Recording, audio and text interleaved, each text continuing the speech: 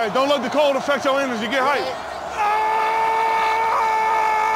Ah!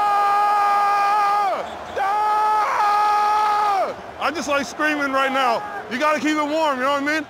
The Kansas City Chiefs game against the Miami Dolphins on Saturday night proved to be a chilly one, and tight end Travis Kelce was seen screaming to keep himself warm.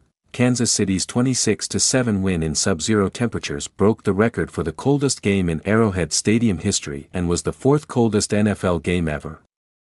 The kickoff temperature was minus 4 degrees Fahrenheit, with a wind chill of minus 26 degrees, NBC reported. Even though it was icy, a special heating system under the pitch made sure that the match went ahead as planned. Now a clip of Kelce screaming has gone viral after the official NFL X account, formerly Twitter, posted it on Thursday. I, don't let the cold affect your image and get hype.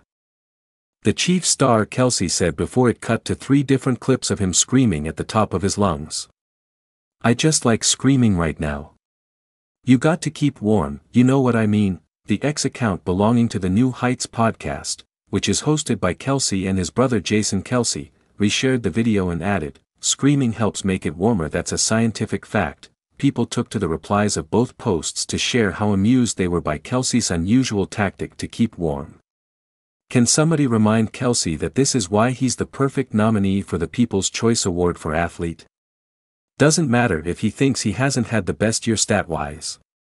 He is a fantastic representative of the NFL and people worldwide love to watch him play, one ex-user wrote, gotta love Travis Kelce's enthusiasm on and off the field, posted another, it seems Kelce and girlfriend Taylor Swift are a match made in heaven, as she was seen, screeching, in Kelce's suite during the same game, and it didn't seem to faze his mom, who was sitting right beside her, one bit. Swift was first spotted at a Chiefs game on September 24 alongside Donna Kelce. The singer-songwriter has attended several Chiefs contests this season during her romance with the team's tight end.